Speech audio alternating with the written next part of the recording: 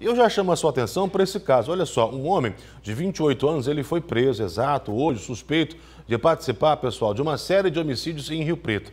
A Polícia Civil apontou o envolvimento dele em pelo menos três casos, três mortes. Esse suspeito, para você entender, ele estava internado no hospital de base quando o mandado de prisão foi cumprido.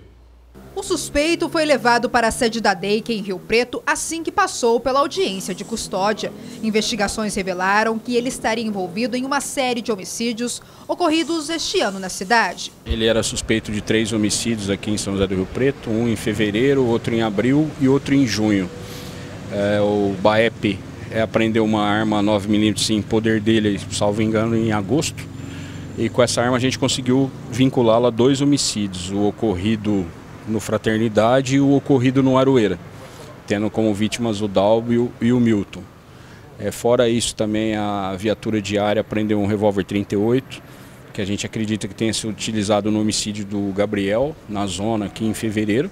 E a gente também apreendeu um 32 que foi usado no homicídio do Dalbio e um outro homicídio que não tem relação com o preso de ontem. Câmeras de segurança registraram imagens de um dos crimes em que o suspeito agia com outro homem. Os dois chegam de moto em uma casa noturna localizada no Jardim Paraíso.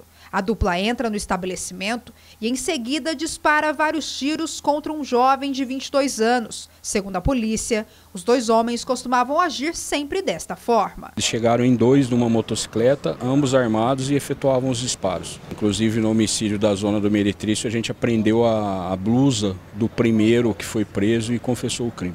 Durante os desafetos este ano, o suspeito de 28 anos acabou sendo alvo de duas tentativas de homicídio. Na última delas, ocorrida no mês de outubro, o homem acabou sendo atingido pelos disparos e precisou ser encaminhado ao hospital de base, onde permaneceu internado até que as equipes policiais cumpriram o mandado de prisão temporária. O delegado que está à frente das investigações afirma que existe a suspeita de que a mulher do criminoso teria uma influência direta nos homicídios. Ela e um dos cúmplices do do suspeito também já foram presos. Ele foi preso por roubo pela Polícia Militar, viatura diária, já tinha uma temporária nossa em um homicídio e posteriormente confessou mais dois homicídios.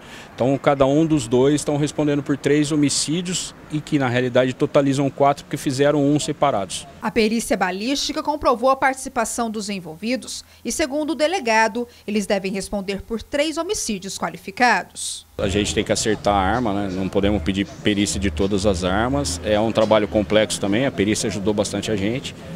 E não, não tem dúvida, né? não existem duas armas que provocam o mesmo tipo de ranhura no, no, no projétil ou na espoleta. Então a gente tem certeza que a arma apreendida foi a utilizada. A gente pretende pedir a preventiva dele nos três crimes que ele cometeu. É, e de ontem, e de ontem para hoje, né, é, a gente teve muitas ocorrências registradas pela região.